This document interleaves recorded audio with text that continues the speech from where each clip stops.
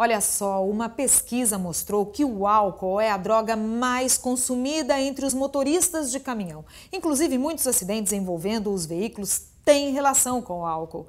A nossa equipe conversou até com um ex-caminhoneiro que alegou já ter usado a substância e também outras drogas para aguentar o ritmo intenso de trabalho. Veja na reportagem. Eu comecei com rebite, depois experimentei a cocaína, dá aquela sensação de, de, euforia, te dá aquela tipo energia que você acha que você está bem, que você aguenta chegar lá, ela te tira o sono e nisso você acaba é, acabando de fazer todo o trajeto, né? Que é, que é o trajeto da, da, da viagem. O depoimento é deste caminhoneiro que prefere não mostrar o rosto. Ele tem 40 anos e há três entrou no mundo das drogas caminho que conheceu no trabalho. A rotina intensa de trabalho, segundo ele, foi o que o fez abandonar a profissão.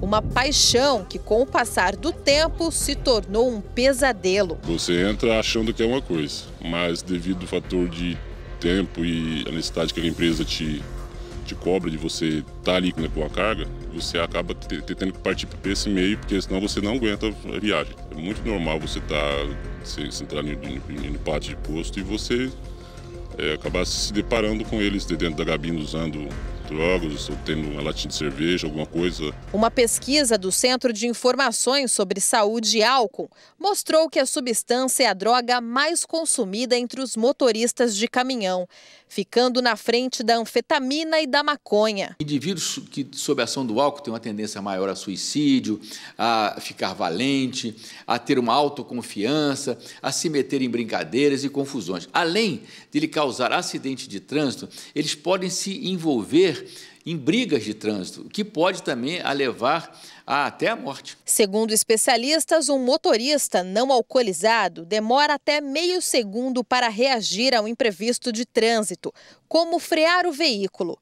Já o motorista sob efeito de álcool ou outras drogas pode demorar até três segundos, dependendo do grau de embriaguez. Às vezes ele nem percebe ainda que está uh, o efeito do álcool, mas ele já perde a capacidade visual. Discretamente, ele já começa a perder a possibilidade de enxergar lateralmente. Então, ele já não vê uma pessoa que atravessa na frente, um, um obstáculo, um buraco, um obstáculo até na frente de uma estrada, e tudo isso vai dificultar uma reação precisa. Se você beber e depois bater de carro, pode chamar isso de qualquer coisa, menos de acidente. Embora a lei seca proíba qualquer concentração de álcool no sangue, dados do Atlas de Acidentalidade no Transporte Brasileiro mostram que nos últimos nove anos, mais de 10.500 acidentes envolvendo caminhões tiveram como causa o consumo da substância.